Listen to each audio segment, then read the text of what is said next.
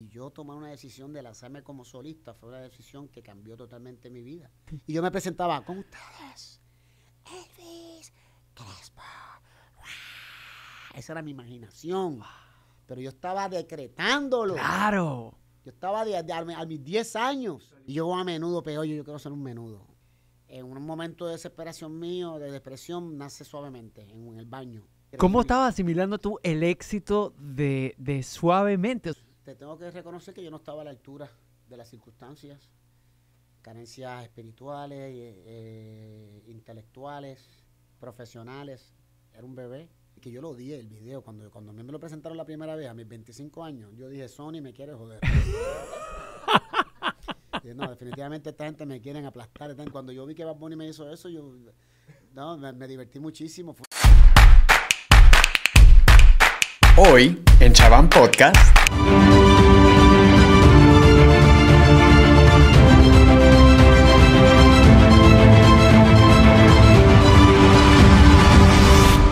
Chavan Podcast es presentado por yesyoucan.com, tu estilo de vida saludable con sabor latino. Hola, hola, bienvenidos a un nuevo episodio de Chaván Podcast. Recuerda suscribirte, es completamente gratis y compartir este episodio. Todo aquello que compartes se te multiplica. Así que ve y mándaselo a tu familia, a tus amigos. Estoy seguro que te va a encantar. Y el día de hoy estamos aquí de manteles largos porque se ha escuchado, señoras y señores, hasta en la luna. En cualquier continente usted va a escuchar a suavemente a mi querido Elvis Crespo. Bienvenido. ¡Alejandro! ¡Qué rico! alegría tenerte aquí, Qué carajo! No, rico, rico, rico estar aquí. Contento de que me dé la oportunidad de disfrutar de este momento presente de una manera única, diferente.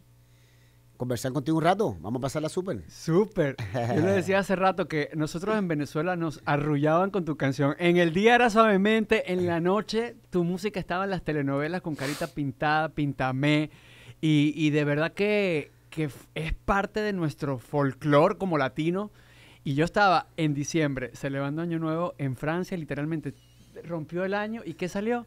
Suavemente ahí, todo el mundo bailando, todo el mundo jodiendo. ¿Qué se siente, Elvis? Ser parte literalmente de nuestra idiosincrasia y tener un himno para todos nosotros. Soy agradecido con Dios primero, ¿verdad? Que fue el que me dio el don de entretener, de, de ser artista.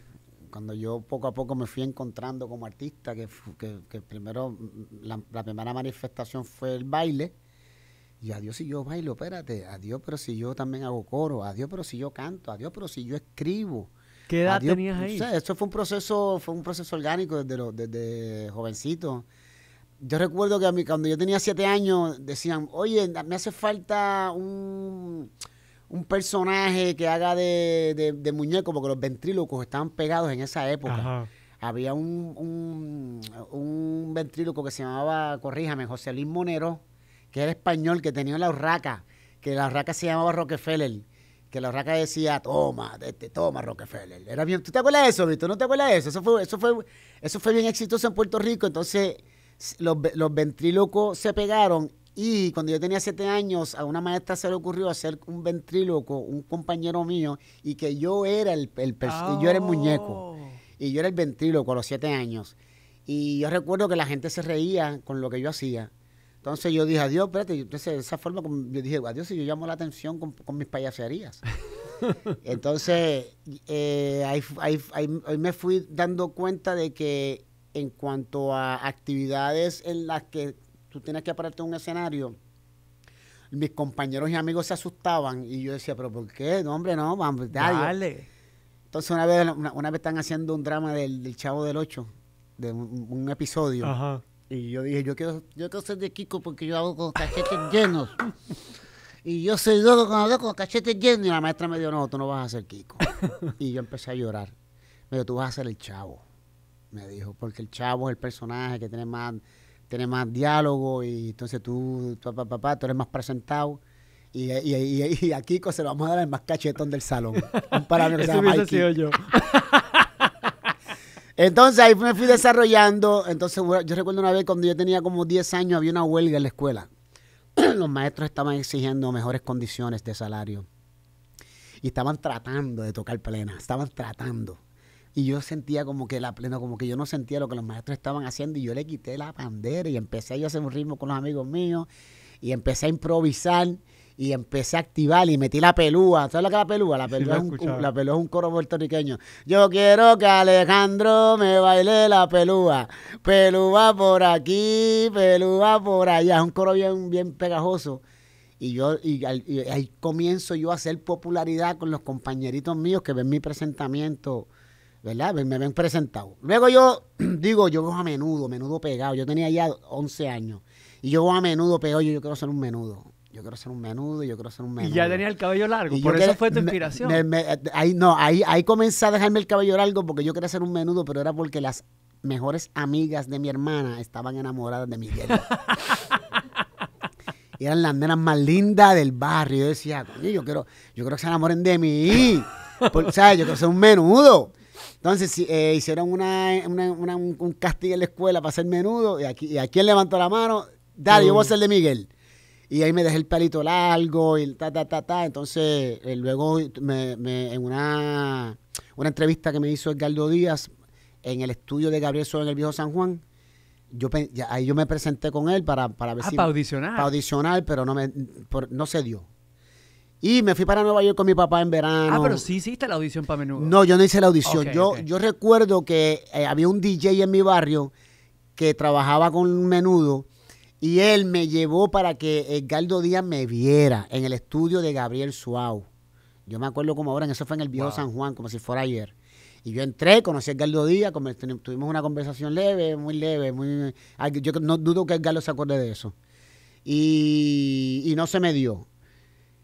Y sigo, sigo envuelto en la música, entonces en Puerto Rico es bien tropical. Yo soy de un barrio en Guaynabo, barrio Camarones, sector Mangotín, que eso es caliente, pura música full. Y ahí comienzo yo a escuchar a Gilberto con Willy Rosario, al Gran Combo, a Andy Montañé, entonces la- la- a Ismael Rivera. Luego la, empieza la música dominicana a apoderarse de la radio puertorriqueña en los años 80 y, y- y entra Wilfrido Vargas bien pegado con el africano y con abusadores. Y uno de los cantantes de Wilfrido Vargas era guaynabeño de mi pueblo, vecino mío, Willy Berríos. Y ahí es que comienzo yo, a, inf- comienza a influenciarme el merengue. Y ahí es que yo comienzo a, tú sabes, a, a- a- a desarrollarme artísticamente y a encontrarme. Willy Berríos luego se tira como solista, me da la oportunidad de pertenecer como bailarín, pero él, me- él estaba buscando un corista y yo no hacía coro. Y me dijo, mira Elvis, te di un break, cogiste un, coge, coge la experiencia, fue como, estuve como seis meses con él, me saca y yo comienzo a coger clases de canto, encuentro un maestro de canto que estaba en Río Piedras, que fue maestro de canto de Dani Rivera, Yolandita Monge, Nita Nazario, Lucecita Benítez, la creme de la creme de Puerto Rico. O sea, que te buscaste el que Me era. conseguí, me conseguí ese maestro que co- me, me cobraba 5 dólares los viernes en- por, por- Río Piedra. Y comencé a coger clases de canto y hasta que Willy Berríos me vio nuevamente y me dijo, mira, te voy a dar la oportunidad y me puso en los labios una canción que cambió mi vida, que fue la primera canción que yo canté, La Noche de Yo Arroyo. Esa canción me dio la oportunidad de, de- de desarrollarme como cantante y fue que comenzaron a verme, Grupo Manía me vio y ahí que en Grupo Manía me di cuenta de que escribo y me lanzó como solista, un, me- renuncié un mayo 30 del 97 y en abril 14 del 98 me lancé como solista suavemente y la historia... ¿Y de dónde sale suavemente? ¿Cómo llega esa canción? Yo estaba con Grupo Manía en el año 1997, teníamos pegada la canción... eh, no, la pegamos en el 96, Linda E. Linda E comenzó a finales del 96. Fue una canción que yo compuse como la, mi primera composición profesional con Grupo Manía. Fue una canción y la canción fue un súper éxito. Linda E, la cantamos en los premios Lo Nuestro, fue una cosa increíble. Y yo sentía dentro de mi ser, decía, es el momento de lanzarme como solista ahora, porque estoy caliente, porque si espero mucho, pues, o sea, como que me dio esa inseguridad de decir, igual, si espero demasiado. Claro. O sea, la gente me dice ahora Elvis, porque ya, ya yo había tenido consistentemente. Había can- la noche la cantaba con Grupo Manía y se pegó en la calle orgánicamente, de un palo. Después pegué Ojitos Bellos, que fue mi primer éxito radial. Luego pegué Linda E y yo decía, no, pues déjame irme como solista ahora, no quiero esperar. Y estaba un poco indeciso, pero después se tomó la decisión, y gracias a Dios fue la mejor decisión que tomé, ¿verdad? Que to- porque mi vida cambió después de, después de haberme lanzado como solista. Mis expectativas eran... Tú la como- escribiste, tú tienes los derechos del máster Sí, y todo. los derechos del máster no, pero la canción es mía, yo soy compositor 100% de, la, de Suavemente. Y cuando, eh, pero cuando yo me lanzo como solista no existía esta canción. Existían la canción Tu Sonrisa y Nuestra Canción, que es una canción que cantaba la mafia romántica, que ahora mismo la, esa canción, esa canción ahora mismo, nuestra canción, es la canción, me atrevería a decir, más caliente de mi catálogo. Lleva ya como cinco años pegada de manera consistente porque Maite me entrevistó una vez, me entrevistó y me presentó en Venezuela, me llevó a mami de sorpresa. Y el video de esa presentación, de ese show, se pegó en Twitter. Mm. Una persona la puso en Twitter, esa presentación, y se, hizo viral. Y, prácticamente se convirtió, en esa presentación se convirtió en el video de la canción. Porque, ¿sabes? tiene algo mágico. Maite presentándome en Venezuela eh, y esa pero esa canción no, era para mi álbum, esa canción era para el, para el álbum de Grupo Manía que yo iba a sacar con ellos. Pero nada, me decidí lanzarme como solista y la canción Algo en tu cara me fascina, será tu sonrisa. Esa canción ya existía. la tenía ya para ser parte de Grupo Manía. Al lanzarme como solista me llevo tu sonrisa, me llevo nuestra canción y comienzo a trabajar con el álbum como solista y ahí luego... Pero es verdad que tú, porque lo que uno lee es de que tú mismo te pirateaste en la calle. O sea, tú mismo dabas los, los cassettes o los CD para que todo el mundo te escuchara. Que ahorita pues es como hacerse viral en las redes. Tú eras viral sin redes sociales. Yo no entendía lo que eran las prioridades de las compañías discográficas. Yo no entendía oh. eso. Entonces, cuando yo me lanzo como solista, la, la disquera fue bien clara y me dijo, no te vamos a lanzar ahora no te vamos a lanzar ahora porque la prioridad del Grupo Manía, porque son los que están vendiendo, el grupo que está pegado. y Banchi se metió muy, muy astuto, Banchi se metió al estudio rápido y sacó un álbum. Entonces, y, tuvo éxito. Y yo no entendía eso, y entonces yo empecé a frustrarme. Y empecé a frustrarme, decía, wow, me engavetaron, me engavetaron, escuchando a la gente diciendo, te engavetaron. Y yo, wow, y Grupo Manía habían pegado sin mí. Y yo, wow, ¿qué es esto? Hasta que en un momento de desesperación mío, de depresión, nace suavemente en, el baño. ¿Cómo, cómo, cómo? Estoy jugando PlayStation con el hijo mío chiqui, con el hijo mío, que ahora es el hijo mío mayor, ¿verdad? Pero en aquel momento tenía como 6 años. Estoy jugando con el PlayStation, me acuerdo como ahora. Y le digo, Cuco, me voy a bañar. Había llegado de correr. Y me meto a bañar y me sale la melodía suavemente. Ahí mismo, ahí. Suavemente, bésame, que quiero sentir tus labios besándome otra vez y el hijo mío me la, me la tararea a los 15 minutos. Mientras estamos jugando PlayStation, pam, me da un honrón y cuando me da un honrón en su celebración me la tararea. Y yo le digo, ¿dónde tú escuchaste eso? Y él me dice, yo no sé. Y yo, pero me la cantaste completa. Ahí solté el control y arranqué para, la libreta y empecé a escribirla. La escribí, empecé a escribir los versos ahí mismo. Me encerré en el cuarto, ta, le di concepto Llamo a la arreglista, la mando a arreglarle, la arreglista Roberto Cora, y me manda el arreglo Roberto Cora, y le digo, wow, esto es un trancazo. Y llamo al ingeniero Papo Río, que en paz descanse, le digo, Papo, tengo un trancazo, necesito. Y Papo me dijo, eh, no seas inseguro, tú tienes buen álbum, espera que la compañía te, la compañía te va a sacar el álbum. Y yo le dije, pues sabes que voy a grabarlo en otro estudio. Y me dijo, no, no, no, no, no, no, tráemela, tráemela, tráemela, tráemela, tráemela. No te voy a poner, vente, tráemela, tráemela. y yo fui, grabamos la canción. Si tú te das cuenta, en, ese, en solamente los coros estoy yo, porque no me dio el dinero para traerme el corista de República Dominicana, porque el, álbum me lo grabó, el álbum, el coro del álbum me lo grabó Henry García, de, un corista, un genio vocal de República Dominicana, y no me dieron los chavos, y tuve que grabar yo las voces con, con Tony, con Tony Tuntún. Y, y cuando comienzo a hacer CDs, no había YouTube, no había. Tú mismo quemando, quemadito, haciendo quemadito en la yo Dije, yo no voy a esperar que la compañía, chacho, que la compañía en abril y llega otro artista y dicen, mira, llega otro artista y se enfocan con otro artista porque tienen ese catálogo estaba Gilberto, Jerry, Víctor, Manuel. ¿Quién más ese catálogo? O sea, Gilberto es una rosa, Jerry Rivera. En, Sony, yo Víctor, Manuel, Yo decía, no, yo no voy a esperar esto el año que viene, que esta gente me saquen. Después vienen estos, estos, estos monstruos y dan palos y van a decir, de ese nene. No, yo dije, este para ti. Para sacar el dedo aquí. Y dije, no. Empecé a hacer CD y empecé a regarlos en Navidad en las patronales. A regarlos, a regarlos, a regarlos. Entonces, cuando la diáspora puertorriqueña, huyéndole al frío, se van para, para la Navidad para Puerto Rico pues se llevaban los CDs que encontraban, los, los mandaban a copiar y se los llevaban para, para, para Estados Unidos, para, el- para, el- para el East Coast. No, A Orlando, pa- Nueva no, no, York. Orlando no. Para allá arriba, para Nueva York, Ajá. Pensilvania, este, Springfield, Massachusetts, o sea, el East Coast. Y lo- la calle empezó a pegarse el CD. En de momento me cuentan, ¿verdad? Esto es un cuento que me hicieron en la gente de Sony, que cuando llegó un record report, antes los DJs hacían unos reportes, creo que eran mensuales, ¿verdad, Maina? Mensual, semanal, de las, de las mensuales de las canciones que estaban calientes. Y salió suavemente en el tope cu- cuando no se había lanzado. Entonces el presidente de Sony dijo, wow, ¿quién es este tipo? Vamos a filmarlo. Y dice, no, si usted lo tiene filmado ya. Es que el disco es, es ese disco, el disco de- no, vamos a sacar esto ya, vamos a sacar esto ya. Pum, pusieron los cañones, ahí fue, y ahí fue que sacaron suavemente y fue una locura. Y el primer país que me recibió fue Venezuela, internacional.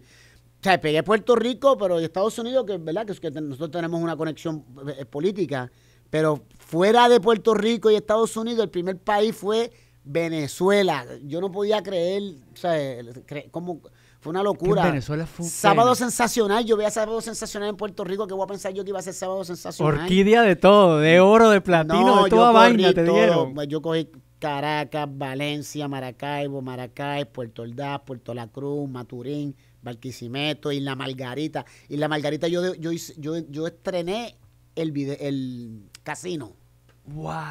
el primer casino.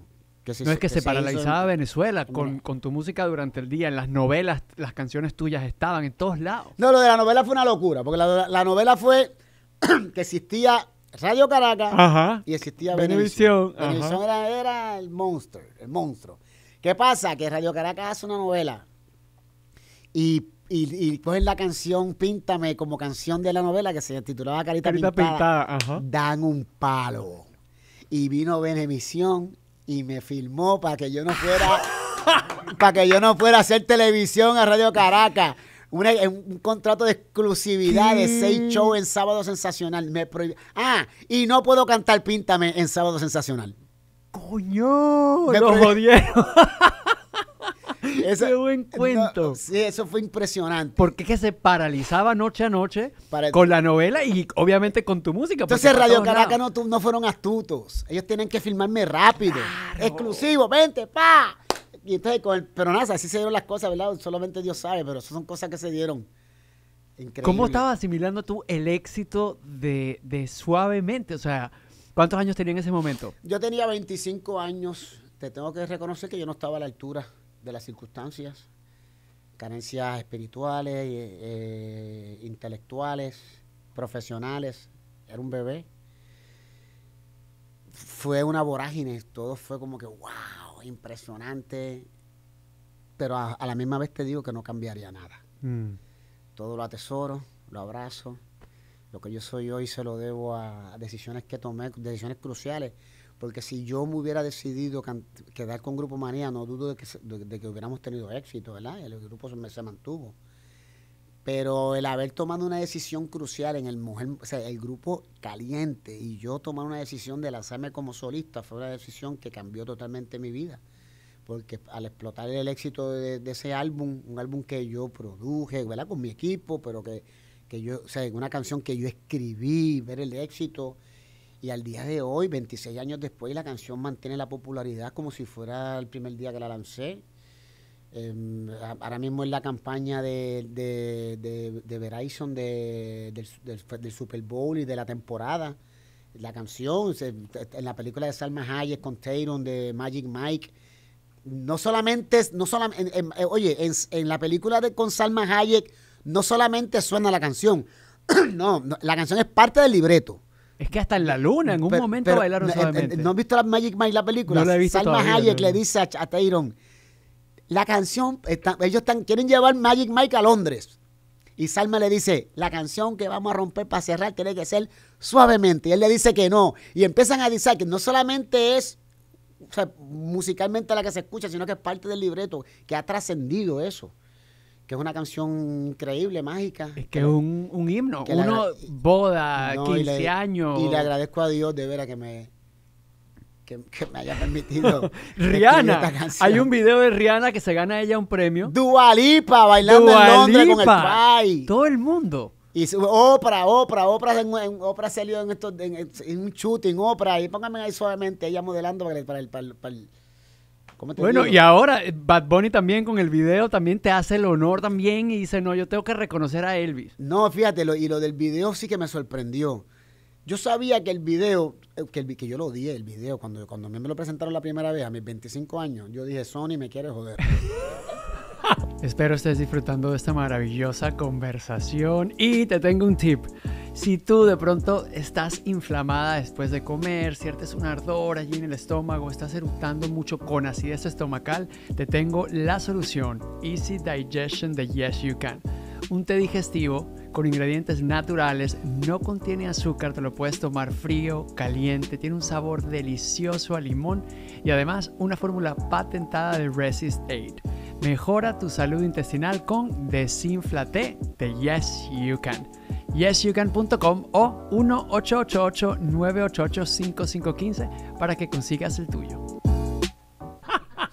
No, definitivamente esta gente me quieren aplastar. esta gente Cuando yo vi el video, bendito el director, yo me da una pena el director, no me acuerdo ni el nombre. Y yo me, y pa, y el director, cuando me enseñó el video, que yo me tiré para atrás, y el director me dijo, ¿no te gustó? Yo, y era que no, yo no estaba preparado para eso. Lo que me presentó fue una obra maestra, el tipo, el, video es loco, una cosa única, diferente, con vacas, con algo abs- abstracto. ahora, que, ahora que voy a museo, algo único, diferente.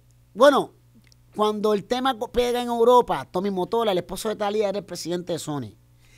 Y dice, esta canción está tan dura que tenemos que presentarla a Europa, pero yo no me atrevo a presentar este video. y me mandó a Colombia con Simón Brand en Cartagena. Hicimos un video de casi 300 mil pesos que todavía lo estoy pagando yo. Eso con eso no pueden depender de las disqueras, a los artistas. Mira, todavía eso está en el, en el pote. Mira, si te dicen, ¿cuándo tú quieres un video de 300? Eh, ¿Ah, tú quieres un jet privado? Sí, dale que sí, toma, voy a poner la tarjeta.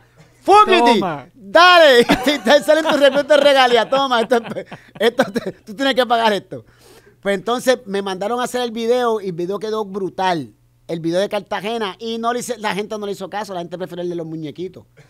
Entonces, con lo que te voy, que ahora es- tú pones Twitter, tú buscas GIF en Twitter, tú pones suavemente y son extractos del video que a mí no me gustó. Y vino Bad Bunny el o su equipo, yo no sé, o su equipo, el que se le ocurrió Pero te idea. llamó, ellos te te pidieron Eh, permiso, no, nada. Cuando, cuando, cuando él, cuando él cogen, cuando cogen extractos de esto, es porque han hecho, ellos saben que, que eso, es- eso, es- eso, es- tiene- eso tiene particularidad. Claro. El video, de, el video es suavemente. Y está en, en Twitter, tú pones un GIF y sale eso. sale extractos del video. Un video único, diferente. Y cuando yo vi que Bad Bunny me hizo eso, yo no, me, me divertí muchísimo. Fue una sorpresa bien agradable. Es que fíjate que no solamente es por continente, por cultura, o sea, que arrasaste con todo, sino también generaciones, porque han pasado ya 25 años y seguimos escuchándolo por todos lados. Sigue siendo un referente. tú, tú sabes lo que me, lo que me, ¿verdad? Lo que me em- emociona y lo que me sorprende es que un niño ahora mismo de 7 años escucha suavemente por primera vez y piensa que es una canción de hoy. Un jovencito de 15 años escucha suavemente hoy por primera vez y la busca. ¿Quién es ese artista? Piensa que es un... Que, espérate, ¿Quién fue ese? Peso Pluma. Espérate, tú sabes, la canción... Y nuestra canción también, es que el álbum también, ese álbum fue un- es un álbum mágico. Son canciones que trascienden el sonido, se escuchan, se escuchan, se escuchan vigentes, se escuchan ¿Qué modernas. ¿Tú crees que el éxito, ahorita con todas las experiencias que has tenido, se hace o, o- o es una cuestión de suerte? ¿Qué- ¿Qué sucede con algo tan mágico como ese momento? En estos días leí una cita que me encantó. Yo me doy cuenta que mientras más trabajo, más suerte tengo. ¿Qué? La suerte. Eso, eso- Carajo. eso- Y que te arriesgaste, porque además pudo haber sido completamente diferente, porque cuánta gente se, se disipan los grupos y de pronto, pero tomaste el riesgo de hacerlo en el momento indicado además. Y llega el momento donde el timing es crucial. Este, y se- insistir siempre.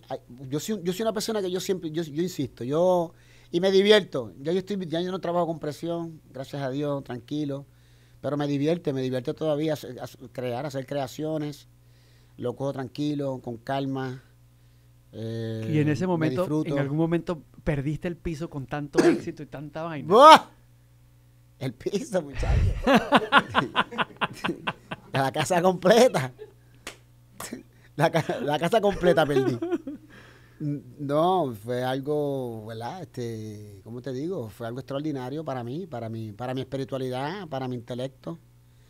Fue mucho para mí. no- ¿Qué hiciste con el primer cheque? Mira, el primer cheque grande que a mí me dieron, yo recuerdo que fue un día de Navidad, eh, semana de Navidad, y Sony estaba cerrando. Y ya yo había pegado, ah, ya yo había pegado suavemente y tu sonrisa, el disco había vendido, ya había pasado el millón de copias, certificados por la RIA, y yo no era, yo no, y yo, y yo era eh, agente libre de como compositor. Y Sony me hace la oferta y sale el licenciado que, estaba conmigo en aquel momento, era el licenciado Edgardo Canales. Y Edgardo me dice, no demuestres emoción cuando veas el cheque. Eso es un tip. Cuando estás negociando no hay emoción. pero escúchate, pero escúchate. No, no, no demuestres emoción cuando veas el cheque. Yo, ¿qué tal? Nos sentamos y la gente Sony pone un cheque de 600 mil dólares a nombre mío. Y yo lo miro así, yo me quedo callado y, y el abogado hace ¡Ah! Y yo le digo, adiós carajo en mi mente, pero tú viste que no demuestras emoción y tú eres el primer pendejo que está, que está brincando. Y yo me llevé ese cheque, yo me acuerdo, me lo llevé y yo, wow, yo decía, no puede ser lo que yo tengo en las manos. Eso fue, eso fue, me fui a celebrar. Wow. No recuerdo dónde puse el cheque ni dónde lo dejé. No recu- es más, yo no sé si lo filmé. ¿Cómo era el entorno? ¿Tu mamá, tu papá? ¿Qué te decían? No, mami, nosotros, mira, yo vengo del barrio Camarón, el sector Mangotín, una casita que se filtraba. Mami tenía, eh, una, o sea, teníamos una casita en el barrio y se filtraba. Tuvimos problemas con el techo. Cada vez que llovía yo me tenía que acomodar. Y no había, tú sabes, eso, no había chavo para hacer eso, para, para arreglar el techo. Y cuando yo comienzo a tener éxito para soltar, cuando ya dio el palo, ¿verdad? Que, pum, que me entregan el, el- el- el- el- el- el disco de las 500 mil copias, pues yo le digo a mi mami, vamos a comprarte una casita. Le digo, mami, escógela tú. Wow. Le dije, escógela tú. Ella fue y escogió una, yo pensé que iba a escoger una por, por Garden Hills, unos lugares exclusivos de, de Guaynabo. Y mami se fue para un, pa' un campito eh, que se llama Lomas del Sol, en Guaynabo. Me dijo, esta es la casita que yo quiero. Y esta es la casita que tú quieres, pues dale, vamos. Ta. Y la tiene, esa eso, me- eso para mí me dio ¿verdad? mucha satisfacción. De que pude sacar a la mami del barrio y, y ¿sabes? que la pude, que le pude da- dar una casita que ella quisiera, que Mm. ella anhelaba, con independencia. Todavía seguimos teniendo la casita en el barrio, la viven, mis hermanas viven en, en la, casa, en la casa. Pero nada, he tenido, gracias a Dios, la oportunidad de, de- de ser bendecido por el trabajo. Yo no llamo, ¿sabes? La suerte. La suerte, para contestar tu pregunta, sí uno necesita como que un momento dado ese timing. Mm.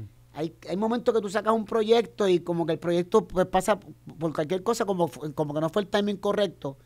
Pero, está bien, pero no te preocupes, sigue insistiendo que el timing. Eso va a llegar, ese timing, ese timing, eso va a llegar. O sea, que todos los planetas estén alineados, pero hay que insistir. Mm.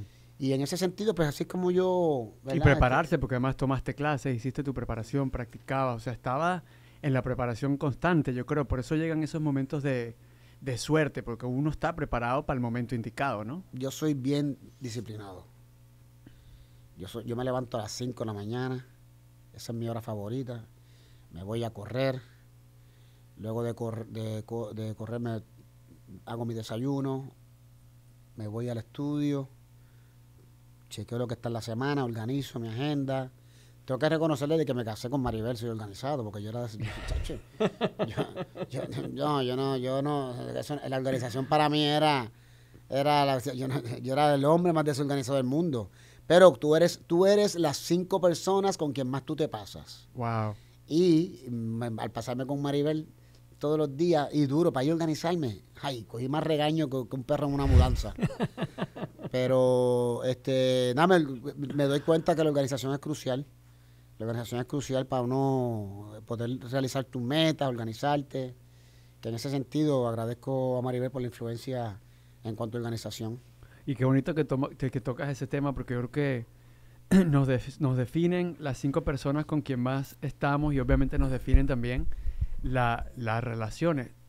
15 años ya. ¿Cuál es el secreto de, de- o la receta, mejor dicho, de tantos años y, y, un amor tan bonito, te escuchaba el otro día hablar en una entrevista y, y, yo creo que si te hubieran dado 100 dólares por cada vez que nombrabas a Maribel, pues hubieses hecho un millón, porque era, era la presencia y el agradecimiento a, a ese amor bonito. Tolerancia que ella ha tenido conmigo, porque yo no soy perfecto.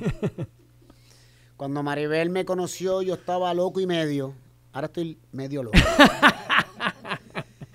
y tolerancia, agradecimiento de mi parte hacia ella. Ella llegó en un momento en mi vida donde yo, uff, necesitaba a alguien como ella eh, para comenzar en lo espiritual. Maribel es una mujer muy espiritual.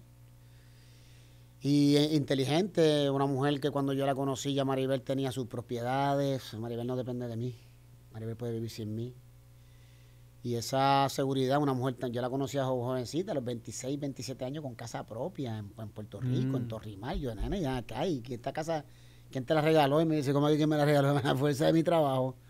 Una mujer muy inteligente y, para los negocios muy astuta. Y, organizada. Entonces se encuentra con este loco, ¿verdad? Que, que siempre está inventándose algo y siempre está, ¿verdad? Siempre está en movimiento yo la pongo a ella que me organice, ¿verdad? Que, mis ideas las organice, las estructure para, para llevarlas a cabo. Entonces hacemos una gran combinación, totalmente. Y la reinvención constante también, porque yo creo que eso ha sido también parte de tu éxito, que constantemente te está, o sea, de la jodedera, la rumba, el concierto, ahora hace grounding, ahora estás en maratones. ¿Cómo haces ese shift, Maribel? Cuéntanos, ¿cómo logras tú eso? Tú sabes que... yo necesito la receta. no, es que yo no puedo, es que yo, mira, Maribel me dice a mí, Maribel está, me dice, Elvis, yo estoy ya por retirarme, me dice ella. Y yo espero que tú también, y yo, ay Dios mío, Maribel hablándome de retiro a mí. Ella no, yo, yo, no sé qué ella está, yo no sé, yo no sé en qué ella está pensando. tenerme retirado a mí en, en, la casa, eh, y yo, yo, yo, no sé, ¿cómo, ¿cómo ella me va a soportar a mí yo sin hacer nada? Entonces yo tengo que buscar la forma de cómo coger mis energías y canalizarlas en algo que me agote. Entonces para la pandemia, llega la pandemia y yo estaba aumentando de peso. Y le dije, wow, Maribel, no, me dijo, no, el billar, el libro se cerró hasta nuevo aviso. Y yo, anda, me ponte a hacer algo. Y yo dije, pues vamos a, bajo una aplicación que se llama Fire y la aplicación eh, me presentó una alternativa para bajar de peso, que era correr este eh, corre un minuto duro, ta ta ta ta ta 30 walk, 30 seconds walk. Un minuto, ta ta ta ta ta. Entonces, e, esos intervalos, ¿sabes? fuerza. Pues me puse el metabolismo y bajé de peso y me fue súper, me encantó. Pero a, los, pero a los tres ciclos, yo empecé a hacer eso en febrero del 2020 y a final del 2020 me aburrí y encontré dentro de la aplicación las alternativas para correr maratón, para prepararte. Y yo dije, déjame ver, hasta dónde llego. Yo no recuerdo haber corrido tanto, pero déjame ver hasta dónde llego. y bajo la aplicación y comienzo y comienzo y la aplicación me va preparando. Un día me pone a correr 8 millas, después el otro día me pone a correr 5. O sea, psicológicamente, esto no es todo el tiempo subiendo, esto es, te, pone una meta y después de dos carreras más te pone, te pone a correr menos para no, este, eh, eh, eh, ¿cómo te digo? eso, tiene su, eso tiene su ciencia. Su ciencia, claro. Y un día estoy corriendo en Miami Beach y tan, y veo y corro 13 millas. Yo, wow, 13 millas. Y veo que es medio maratón. Yo digo, corrí medio maratón. Trato, trato, en la, la próxima semana me pone a correr un poco más de tiempo y trato de correr 14 millas y no la llego. Llego a 13.99. Entonces yo quería el 14 el reto. Y yo decía, diante, no llegué. y entonces cuando me preparó la próxima semana para correr una larga, la otra, la, otra ruta larga, hago en Miami Beach 17 millas 6.66.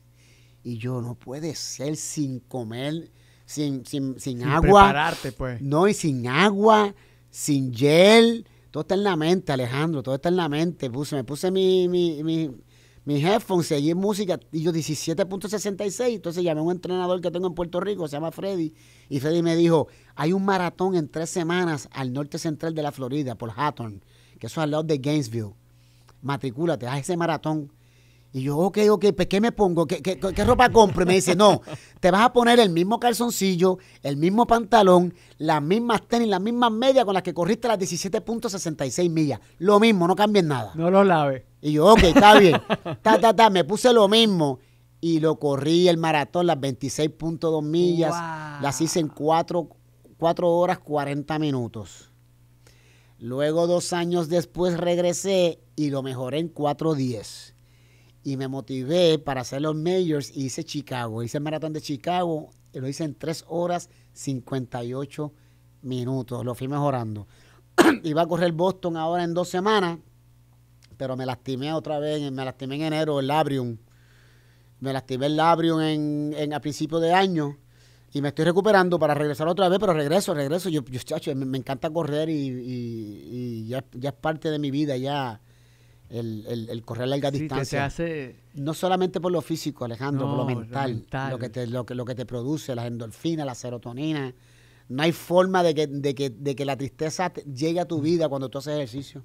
Exactamente, es de los beneficios más increíbles que existe cuando tú estás haciendo grounding, ahora escuché que estás haciendo grounding, sí. explícale a la gente qué es eso un poco, eh, que hay mucha gente seguro que no conoce. El, el grounding es caminar descalzo, descalzo. En yo, el pasto, en, en la el, arena. Por lo menos yo, yo lo hago en el pasto, Ajá. en un parque que me da una energía increíble y realmente yo lo siento. Cuando el, o sea, yo lo hago a las 11 del, del, del mediodía, que el sol está ahí en su apogeo.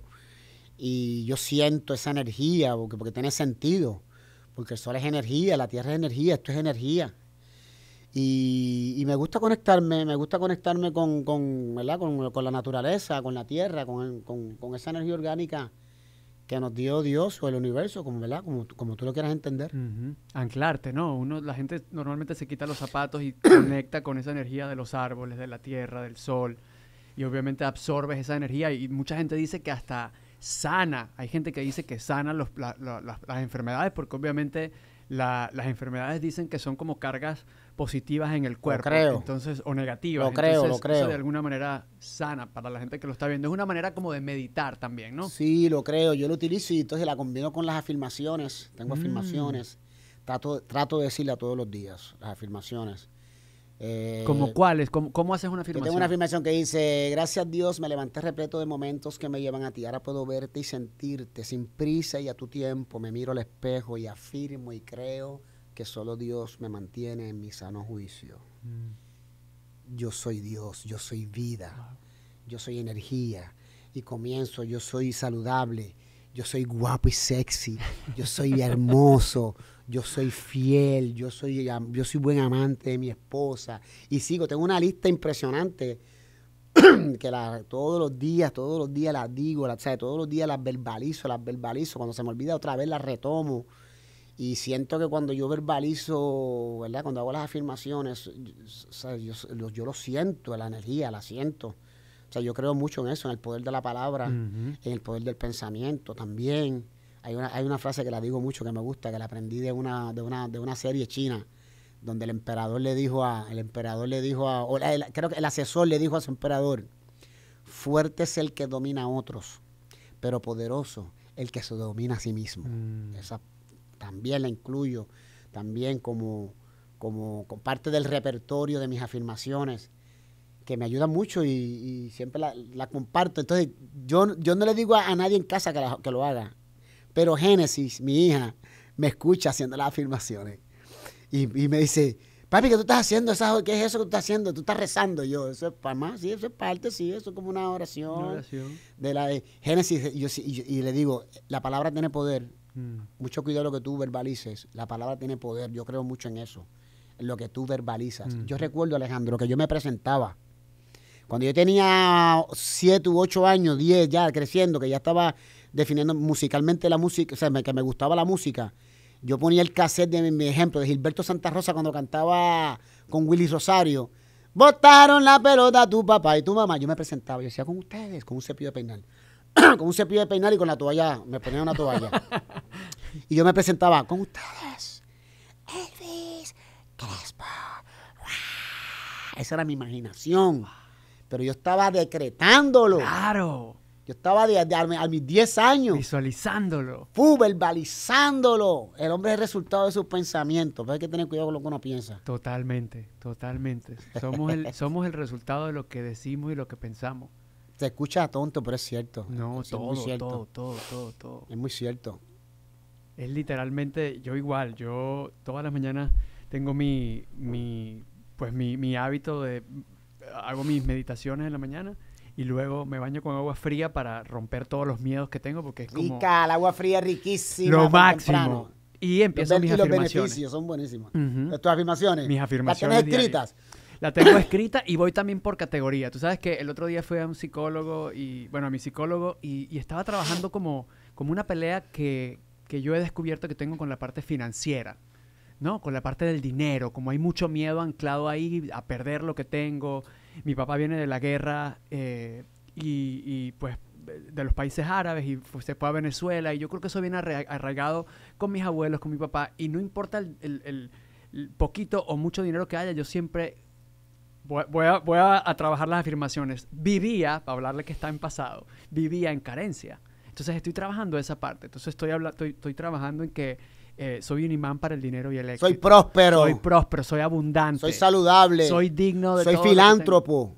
Buena, soy filántropo, exacto. Claro. El dinero solamente expande lo que ya eres, porque había una creencia muy negativa en mi casa o, o mis abuelos con el dinero, no, el dinero es malo, quien tiene plata está jodiendo a otro, ¿no? Entonces, eh, me, ha- eh, me ha- me ha tocado trabajarlo bastante y estoy en el proceso y mis afirmaciones todos los días y viéndome al espejo y obviamente, pues, elimina la palabra no cuando estés haciendo una afirmación porque el, el cerebro no conoce del no. Entonces tú dices, yo no estoy gordo, pues vas a terminar gordo. Yo no... Eh, Yo estoy eh, bien. Exacto. Yo soy bello, yo Soy estoy flaco, yo, o yo estoy saludable, o yo tengo un Exactamente. 10% de grasa en el cuerpo y estoy en excelente condición de salud. Estoy seco. Yo lo digo, pero papi, yo, yo lo digo, yo me siento Bruce Lee. ¿Sabes que Bruce Lee, tu, tu- Bruce Lee tiene- cinco- un 5% de grasa? Cuando me la tenía. Cuando Bruce Lee, yo si me siento Bruce Lee, yo tengo un 10% de grasa y sigo y sigo y sigo y sigo. Entonces, tú sabes, porque es que hay ideas mm, eh, viejas incrustadas en tu cerebro que no, tú no puedes arrancarlas. Por ejemplo, yo, yo, yo no corría bicicleta hace 30 años. Y Maribel me regaló una bicicleta de aniversario. Me monté en ella como si nunca hubiera dejado de correr. ¿Qué me dice eso? Que mis ideas viejas están, eh, las ideas viejas están por ahí. Hay que, ¿cómo te digo? Hay, hay- hay que alimentar el cerebro con las ideas nuevas. y todo el tiempo insistir, y insistirlas, insistirlas, y consciente, Mm. despierto. Ey, lo que digo, pensamientos negativos van a llegar porque eso está comprobado científicamente que de 10 pensamientos 8 son negativos. Eso está comprobado. ya. Totalmente. Existe la empírica. Tienes que descifrarlo. Yo lo en mi caso, yo hablando de mi caso, yo no soy perfecto. No, me falta mucho para, para lograrlo. Yo no soy, yo, yo no soy, yo no soy lo que quisiera ser en cuanto a santificación se refiere, pero tampoco soy lo que era. Mm. Un día a la vez. Entonces, este, es, es muy importante estar consciente de eso. De estar consciente de cuando llega un pensamiento imprudente. Sí, está la alerta. ¡Eh! ¿para dónde tú, eh, Exactamente. ¿para dónde tú vas? Espérate. Va, así como yo, ¿verdad? Como yo manejo Sí, mi, el- el mi momento presente. Mi momento presente. Uno siempre dice que está como el, el- diablito y el angelito. Y es estar alerta. Épale, cuidado, cuidado, no vengas a sabotear pues lo que uno ha logrado en todo, en la dieta, en el dinero, en la salud, en el trabajo, en todo. Ya que tú hablas del angelito y el diablito, cuando yo tenía 25 años, 26 años, pues yo tenía el angelito aquí y tenía el diablito. Entonces, cuando veía a una chica, el diablito me decía, mira, mm, se ve bien, enamórala. ¿Y tú sabes lo que me decía el angelito? Por hoy nada más. No, no, no. Yo creo que el, el- el angelito me decía, el diablito, yo creo que la, la- la tiene, la tiene, enamórala. No había, tú sabes, yo no, no pude, o sea, no, yo no pude crear un equilibrio en cuanto al angelito y al diablito a mis 25 y 26 años. Y las consecuencias fueron, tú sabes, y las asumo con responsabilidad y las atesoro. Pero ahora ya, ahora, ahora ya, ya gracias a Dios, el angelito y el diablito ahora mismo aquí no, aquí no tienen cabida, ninguno de los dos. ¿Cómo los reentrenaste? Ahora. Es que yo soy el que controlo mis decisiones. ¿qué me- y yo sé lo que me viene, sano juicio. cuando me- se me presenta una situación, una tentación, yo voy al cofre de los recuerdos. Eh, en el pasado tú tomaste una decisión, déjame chequear, ¿qué fue lo que pasó? Déjame recordar. No, muchachos, en el nombre del Padre y del Espíritu Santo. Amén. Fuera y sigo mi camino. Eso se llama experiencia, sabiduría, ¿no? ¿Verdad? Claro, pero qué bueno, qué buena esa técnica porque eso, eso nos recuerda de que no hay errores, hay aprendizajes. Ah, además. eso es así, todo funciona. Exactamente, al final todo funciona para Todo nuestro funciona. mejor. Todo Qué funciona. maravilla. Elvis, hay una pregunta en TikTok que todo el mundo tiene. Por favor, ¿tú te acuerdas de alguna noche en Barcelona, algún momento? ¿Eres o no eres el papá de Rosalía? Me eno- tú sabes que me enorgullece que, que me comparen con una artista tan linda. Tú viste que te posteó antier, ¿no? Sí, en el aniversario de Motomami, Rosalía te hace un homenaje a ti por lo grande que eres para todos nosotros. Eh, oye, el hecho de que me comparen con una artista tan linda, tan talentosa, eso me, me- me- me alegra. Mi esposa le encanta porque como, se, como tiene un parecido a Genesis. ¿Te parece un, a Genesis? Es una artista súper, de veras. Este, Pero viene un junte o algo, porque son- aquí es que esto es una No, promo. Ojalá, ojalá. Rosalía. Que me diga el uniforme y la hora. ¿Te gustaría un dúo con Rosalía, una Bueno, canción con Rosalía? definitivamente que sería muy, muy atractivo. Claro, sería algo interesante. Las voces son, son voces que mezcladas sonarían increíbles en la, en la canción, en la canción correcta, porque la canción lo es todo. Y son estos muchachos jóvenes, son, ¿sabes? son genios. Hasta una nueva Sí. versión de Suavemente. Imagínate Suavemente ahora con la voz de ustedes. Sería genial, de veras, con, con Rosalía interpretando esta canción.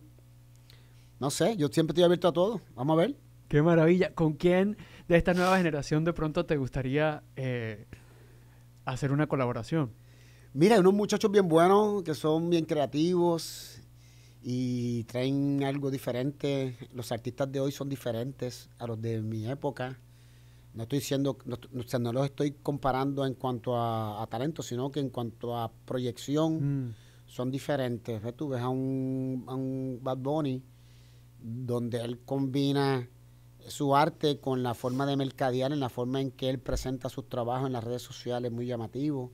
Eso es algo diferente. Eh, de los artistas de hoy me gusta mucho Raúl Alejandro. Mm. Sí, porque Raúl baila súper, es un artista completo. Estuve con él en diciembre en su concierto y me sorprendió mucho. Lo puse a cantar suavemente y, y- y lo tiene, lo tiene, porque es que la mamá era cantante y el papá es bajista. Que es un músico de, De sangre. de sangre. Mm. Y me parece que es, un, que, que es un artista que puede hacer crossover, o sea, crossover en el sentido de que se puede dar el lujo de, gra- de grabar música clásica, como lo hizo en un momento dado Luis Miguel, Mm. que a final del siglo pasado grabó romances, que sus romances son canciones de los canciones viejas, canciones de los 50, de los 60, y él la, la, la- regrabó Claro. con, con don Armando Manzanero, le hizo el, fue el productor. Pues, ah, pienso que Raúl tiene, Raúl puede hacer ese, ese crossover de, de- de que no solamente tener éxito en la música de hoy, sino también puede hacer música, música clásica, es, muy talentoso. Rosalía, pues definitivamente su voz y, y, ¿no? y su energía, es una gran artista que si se da la oportunidad, como, cómo no, la recibo con mucho cariño. Y de, de antes, ¿hubo algún junte que de pronto grabaste y nunca salió? ¿O hubo alguien que tú en algún momento en el pasado dijiste, coño, me hubiese encantado? ¿Con quién sería? Pero una vez yo me reuní con Juan Luis Guerra en República Dominicana, con Bienvenido Rodríguez y Juan Luis Guerra, me acuerdo, con, con, con Edgardo Barreto, que era manager mío en aquel entonces. Y coordinamos para que Juan Luis me produjera una colaboración con él. Y no se dio, chico. No sé qué pasó en el, camino en el camino, no se dio. Pero me encantaría, Juan Luis no tiene parangón, Juan Luis no tiene comparación, su intelecto está a Mm. otro nivel y su musicalidad. Y soy fanático de él desde que yo tengo 16 años, Mm. porque él le compuso una canción a Gilberto Santa Rosa, que se llama eh, Tú, mientras más lo pienso, tú. Ah, claro. Esa canción eh, Gilberto la grabó y, y yo recuerdo que yo se la dedicaba a una nena que a mí me gustaba. Y por eso, que, por eso que recuerdo mucho a Juan Luis Guerra con mucho cariño y lo respeto muchísimo. Me gustaría hacer música con, con Don Wilfrido, con El Gran Combo. Yo soy, a mí me gusta la música clásica mucho, soy, soy, Soy, soy ochentoso y noventoso porque fue la música que me influenció. Soy salsero, me encanta la salsa, mucho. Y ahora tienes una nueva canción con Jorge Celedón y Rakim. ¿Cómo, cómo sucede este junte? Rakim me llama y me dice, Elvis, tengo una canción que me gustaría colaborar contigo. Me la envía. Me la envía a ritmo de merengue. Y yo como que no la sentí. Y se lo dije. Le dije, mira, Rakim, quiero hacer algo contigo porque él me cae, me cae súper, es bien buena gente. Digo, Rakim, no, no, me las sé todas porque me puedo equivocar. Pero no la siento, no, como que no encuentro cómo, cómo entrarle. Y me dice, te voy a mandar otro, otro ritmo y me envía un ritmo con un ukelele. Y yo soy fanático del ukelele. Es un instrumento que, me llama, o sea, me cautiva. Y ahí es que comienzo yo a trabajar con la letra y le metí un coro y, me, y, se la muestro. Digo, Raquín, ¿qué te parece esto? Y me dice, no, me encanta. Entonces me dice, se la voy a mandar a Jorge Celedón. Yo soy fanático de Jorge Celedón. Jorge Celedón, uno de los, de los mejores intérpretes del vallenato y una de las voces más hermosas y fuertes que yo he escuchado. Y además que lo, que lo conozco, he trabajado con él y es una, persona muy humilde y, siempre es bueno trabajar con él. Y ahí es que hicimos la canción, la creamos y fuimos para Medellín a grabar el video y la lanzamos y estamos defendiéndola con mucha pasión, contentos. Siempre los nuevos proyectos son para mí eh, como abrir un regalo. Mm. ¿Sabes? La creatividad, yo pienso que eso es, en, en mi caso, así es como yo veo la creatividad. La creatividad para mí es la idea es un regalo. Y el desarrollarla es abrirlo. Ok, déjame abrirlo, a ver cómo, cómo, cómo es que esto va a terminar. O sea, tengo la idea de cómo va a ser el regalo, pero al final del día coge vida propia. Entonces, ese tipo de, de, proyecto pues me permite experimentar con otras cosas, compartir con, con compañeros que, que, hay, buena química porque al final del día la química tiene que estar ahí. Mm. Yo puedo yo puedo resucitar a, ¿cómo te digo? Resucitar a Michael Jackson y hacer un track y hacer una canción. Y al principio la gente eso va a ser una locura, pero si, a si la canción no es buena, ya al mes, a los dos meses ya se sabe que no fue la buena, que la canción no fue la correcta. O sea, que, es importante eso, la canción tiene que, ser la, la canción lo es todo y yo soy una persona que yo siempre estoy montado en melodía. Mm. Mira, yo en, en, el 2016 a mí me llama la gente Sony y me dice, mira Elvis, tenemos una, una posible colaboración que se quiere dar contigo con la con De Horro. Y yo, ¿quién es De Horro? Y me dicen, googlealo. Y veo, me doy cuenta que De Horro estaba pegado en el mundo con una canción con Chris Brown, que un DJ que se llama De Horro, que es muy fuerte. Y De, de Horro me manda el beat y cuando yo escucho el beat, lo, lo escuché raro, yo esto está raro, eh, eh, no hay otra cosa. No lo sentiste, claro. Y me dijo, maestro, esta es la canción, con mucha seguridad. Créame, esta es la canción, póngale la voz. Yo mismo me grabé sin mi ingeniero. Le mandé la voz y él me dijo, le digo, esto me grabé yo sin mi ingeniero, déjame saber si te gusta para mañana llamar a dentro de mi inseguridad. porque, porque estoy acostumbrado a que tengo que tener un ingeniero para grabar mi voz. Claro. Y me dice de horro, esto que está aquí es lo que me gusta. Yo, ¿ves que me grabé yo mismo? Yo no sé si eso está. No, esto está buenísimo. Y se quedó y la canción fue un super éxito. fue la oh, campaña de Target, fue una, en Europa fue número uno. La canción fue un trancazo. Eso me trajo a Yankee para hacerle otra canción electrónica con Steve Aoki. Y eso, o sea, que ese tipo, yo, yo me corro riesgo. Yo, yo, yo, yo hago las cosas diferentes. Una vez vine con una bachata Digo, voy a hacer una bachata, pero no va a ser ninguna bachata, va a ser una bachata. Y yo estaba leyendo el libro 50, 50 las, las 50, Shades of Grey, ajá. Y yo, y el libro está un libro bien sensual. Y yo leo el libro y yo, wow, este libro, qué caliente es este libro. pa, se suelto el libro y a las 3 de la mañana me sale, hazte un tatuaje debajo del ombligo con una flechita que diga que eso es mío. Yo te subo el traje, bebo de tu río y con mi, y con mi dedito te hago remolinos. Cuando yo saqué eso, se me cayeron encima. Bueno, Maribel me dijo, eso no me gusta. Maribel, eso me, esa canción me avergüenza con mi familia. En estos días me dijo, grábate otra bellaquera de esa. que, que, que ese, tatuaje está vendiendo bien. Grábate otra bellaquera de esa.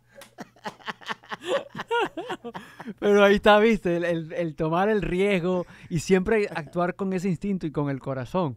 Cuando tú se- dices que tú sales a correr escuchando música, ¿a quién escucha Elvis? Yo la primera canción que escucho es una canción de una, de una muchacha que se llama Maricel, que la canción se titula Decla- eh, Declaro Salud. Yo declaro salud, yo declaro sanidad, eso com- comienzo yo a estirar mientras escucho esa canción completa. Cuando la termino y arranco, Here Come the Songs de los Beatles. Me, me tiro a los Beatles ahí un ratito, It Be, Yesterday, y luego me voy para el top 10 este, global, a escuchar qué es lo que está en el mundo, a escuchar música, pa, pa, si no me voy para un playlist de salsa, un play de merengue, pero soy bien, o sea, soy bien repetitivo, porque, por- por- por- porque tiene que ver mucho con la organización y con el enfoque. Trato de repetir todo el tiempo a la mañana, ¿verdad? Por lo menos esa, ese, ese- ese es mi, esa es la disciplina. Claro. De- por la mañana me levanto, eh, agradezco, agradezco que me levanté.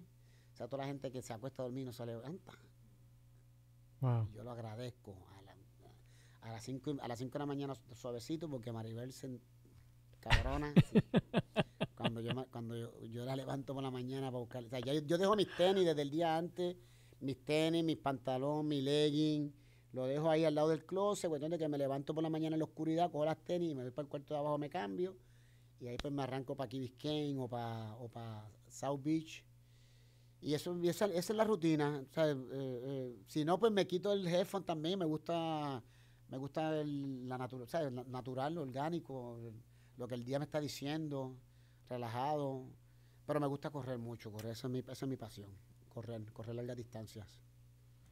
¿Qué le dice a todos esos chamos jóvenes que están comenzando sus carreras? Tú te, tú te, te, pues, te internacionalizaste sin existir las redes sociales.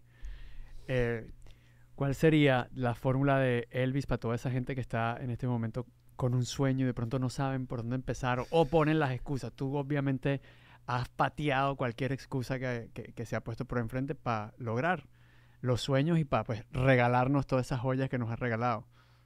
Si realmente es tu pasión, el entretener, el cantar, el hacer música, tienes que insistir, entender que lo que fácil llega, fácil se va. Mm. insistir, insistir, insistir, leer biografías, hay que leer biografías. Tú te das cuenta que con estos monstruos que han dejado un legado impresionante, su camino no ha sido fácil. Y la biografía te, te lo dice. Cuando tú lees esa biografía, tú dices, adiós. En estos días me leí la de Elon Musk, que sacó SpaceX. Cuatro intentos tuvo el loco ese Wow. cuatro. Oye, para, para lanzar el primero, una inversión que, que necesitó, fa- fracasó. El segundo, fracasó y ya los inversionistas dijeron, eh, espérate, no. El tercero ya era su bolsillo y fracasó. Ya estaba ya solo y en el cuarto fue que logró ¿Qué lo pegó? ¡pum! la bombilla. La bombilla número mil fue la que prendió. Mm, Esto hay que insistir. Esto es resistencia. mm. Esto no es una carrera de 100 metros.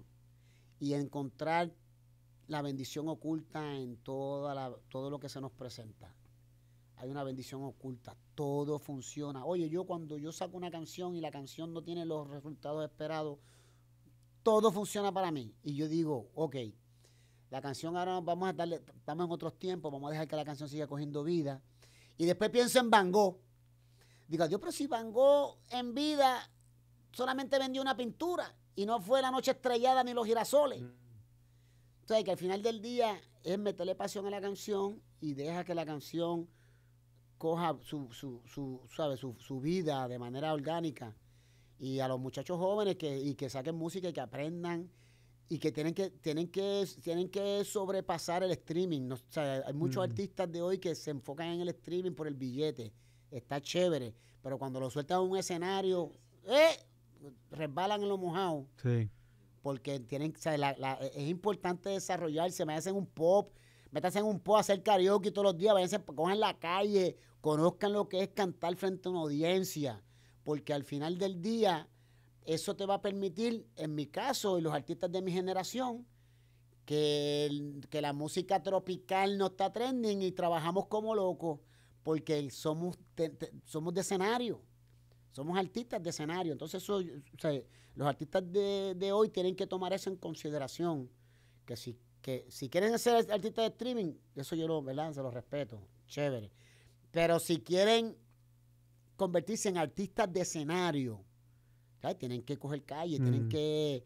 Tienen que en estos días yo vi un grupito, en estos días, en un país en Perú, que bendito que me, me dieron ganas de llamarlos para hacer algo con ellos.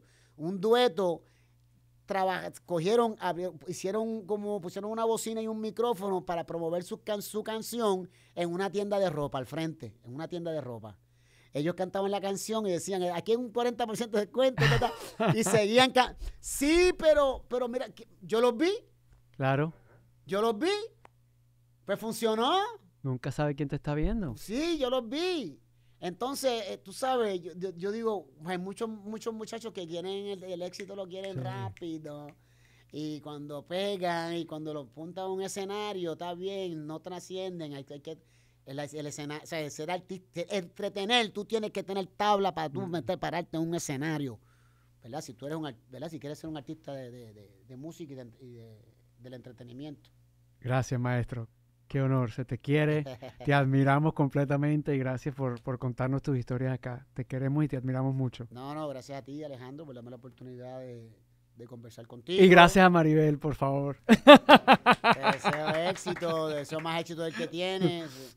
Este tipo de programa donde motiva a la gente a, a tener una mejor calidad de vida. Me- ¿verdad? Me, me, me enorgullece estar aquí contigo y, y ojalá que se repita. Claro que sí, hermano querido. Gracias a ti. Alejandro, Alejandro Magno.